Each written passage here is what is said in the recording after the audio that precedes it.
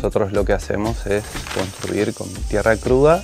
Se utiliza en este tipo de construcción eh, muy pocos materiales industrializados, como ser clavos, alambre y algo de hierro, porque, bueno, para poder darle rigidez y el armado de las estructuras. Pero después básicamente los materiales son arena, tierra, eh, pasto y agua que es lo que generalmente se utiliza para este tipo de construcciones. Porque no es solo el tema de la construcción con materiales naturales, sino es el aprovechamiento de todos los recursos del lugar, porque trabajamos mucho con, con algo que se llama sistema solar pasivo, donde se tienen muy en cuenta los solsticios, la sombra, los vientos, para trabajar en la iluminación natural de la casa y los materiales de la zona para tratar de, optimizar los costos y, generar lo menos posible contaminación en el medio ambiente.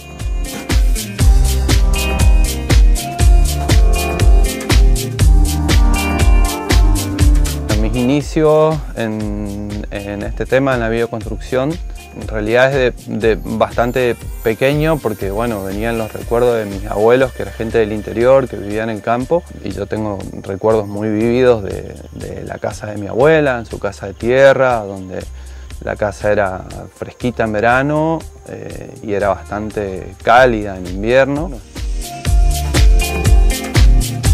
Una de las cosas buenas que tiene el tema de la bioconstrucción es que permite la autoconstrucción de la vivienda. Entonces, los propietarios de la casa se involucran con la construcción. En este momento hay cuatro o cinco obras que están en ejecución donde eh, van trabajando, se juntan un fin de semana en una casa, otro fin de semana largo en la otra casa, entre los mismos propietarios de las cuatro o cinco casas que están en ejecución, más sus amigos, que al permitir la, la autoconstrucción se puede ir sumando cualquier persona que esté interesada a trabajar en una obra. Entonces eso va haciendo de que se generen vínculos de amistad, grupos muy grandes, importantes.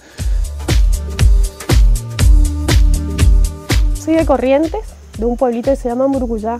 Amo el campo y la gente de campo. Y la gente allá construye su casa de barro. Y siempre me gustó la idea de tener una casa así. Yo decía, ¿por qué no una casa de barro y no una casa como común, digamos? Y bueno, entonces después se presentó toda esta idea, después de conocer todos los, proyectos, creo que el terreno lo, elegimos junto con Leandro, el río atrás, de fondo, todo eso, así que por eso nos pareció un lugar propicio para, para el rancho, yo lo llamo el rancho. no veo la hora de poder mudarme y completarle lo que realmente darle un toque personal, digamos, a todo lo que es esta casa. Por ahí lo que me hizo estar hoy por hoy 100% abocado al tema de la bioconstrucción es que la gente mm, vuelva a tener la posibilidad de, como lo hacían nuestros abuelos, eh, de, con sus propias manos poder llevar adelante la construcción de su hogar, de su casa.